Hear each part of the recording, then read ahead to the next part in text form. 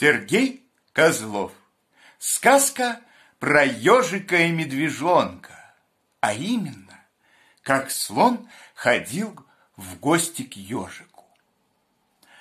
Однажды из городского зоопарка убежал слон. Это такая обычная история, что мне было бы даже лень ее рассказывать. Если бы слон убежал днем и пошел по улицам, мешая автобусам, троллейбусам, заходя в магазины и удивляя прохожих. Конечно же, за ним увязалась бы толпа мальчишек. Мальчишки бы свистели, улюлюкали, а один из них даже пошел бы перед слоном, как будто он и есть самый главный. Но слон ушел из зоопарка ночью. Быстро пересек город, перебежал картофельное поле и скрылся в лесу. Его видел только один ночной сторож возле булочной.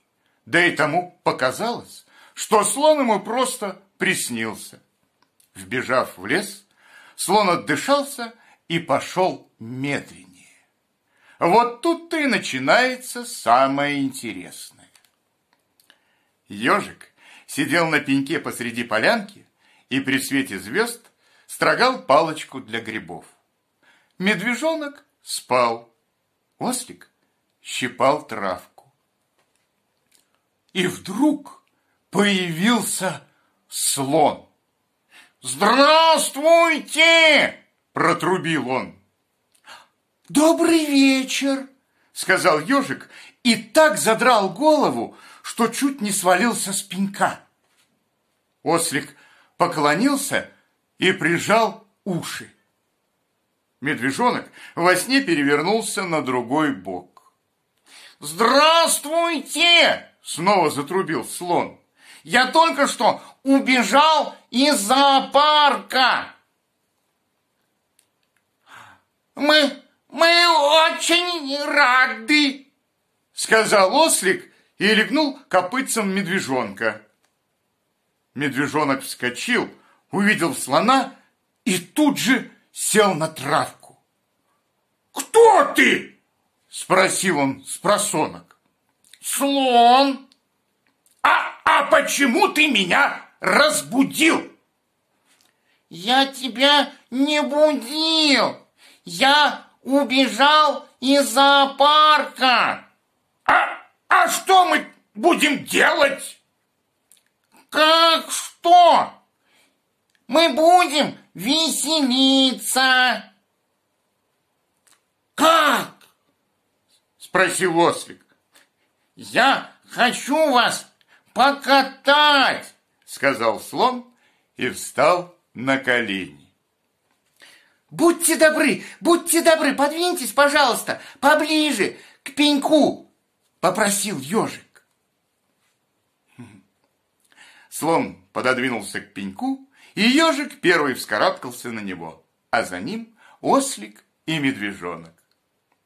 В лапе у ежика была палочка для грибов. Он сидел ближе всех к голове слона и поэтому стал главным. «Слушать меня!» — сказал ежик слону. «Сейчас поехали прямо!» И они поехали прямо через лес, напевая веселую песенку. «Не на осле, не на коне мы едем прямо на слоне, не на осле, не на коне мы едем прямо на слоне». Ослик был запевалою. Медвежонок отбивал задними лапами такт, а слон трубил «Тарара, тарара, тарара-ра-ра-ра-ра». Ежик дирижировал, помахивая палочкой, и так они въехали к реке. Над рекой стоял белый туман, и слон весь утонул в тумане и ничего не видел. А ежик командовал.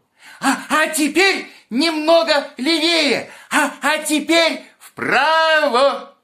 Ослик с медвежонком пели песню и барабанили по слону лапами и копытами. Туруру, туруру, туруру-ру-ру-ру-ру, трубил из тумана слон. И скоро проснулся весь лес. вылез из своего логова и завыл волк, заухал филин, заквакали лягушки. «Кто это нам подпевает?» – спросил слон. «Не отвлекайтесь, пожалуйста», – сказал ежик, «а то мы налетим на дерево». Они уже давно мчались во весь дух, так что только елки и сосны мелькали со всех сторон. Слона совсем не было видно, и казалось, что ежик, ослик и медвежонок сами летят по туману. «Жаль, что нас никто не видит!» Сказал ослик медвежонку. «Да!» – вздохнул медвежонок. И они снова подхватили песню. «Не на осле, не на коне, мы едем прямо на слоне!»